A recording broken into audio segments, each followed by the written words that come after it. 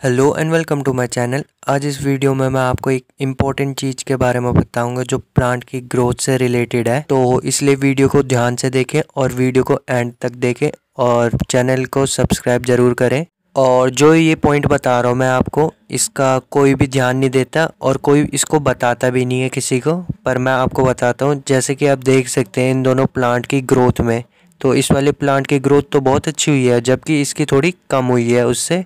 और जो ये प्लांट है, इनको हमने सीड से ग्रो करा था दोनों प्लांट को और एक ही सॉइल में लगा रखा है हमने सेम सॉइल में दोनों को।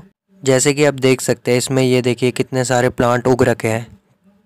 और इस वाले में देखिए, एक भी प्लांट नहीं उगा ऐसा। तो इसकी देखिए ग्रोथ तभी अच्छी है और इसकी, तभी इसकी ग्रोथ इतनी कम हुई है, क्योंकि जो ये प्लांट होते हैं ये जो हमारा मेन प्लांट होता है, उसका सारा न्यूट्रिशन ले लेते हैं। जिससे जो हमारा प्लांट होता है, उसको प्रॉपर न्यूट्रिशन नहीं मिल पाता और उसकी ग्रोथ इतनी अच्छी नहीं हो पाती। और अगर आप अपने किसी भी प्लांट में ऐसा कुछ देखते हैं कि उसमें बहुत सारे छोटे प्लांट उग रखे हैं तो उसे रिमूव कर लीजिए। इससे आपकी प्लांट की ग्रोथ भी अच्छी होगी और जो उसको प्रॉपर न्यूट्रिशन मिलना चाहिए, वो भी उसको प्रॉपर मिलेगा। और अब हम इनको धीरे धीरे करके रिमूव कर लेते हैं। पर जैसे कि हम ऐसे रिमूव कर रहे हैं तो इनकी पत्तियाँ निकल जा रही है और जड़ ज़मीन के अंदर रह जा रही है। तो ये फिर उग जाएँगे और फिर हमारे प्लांट का न्यूट्रिशन लेने लगेंगे।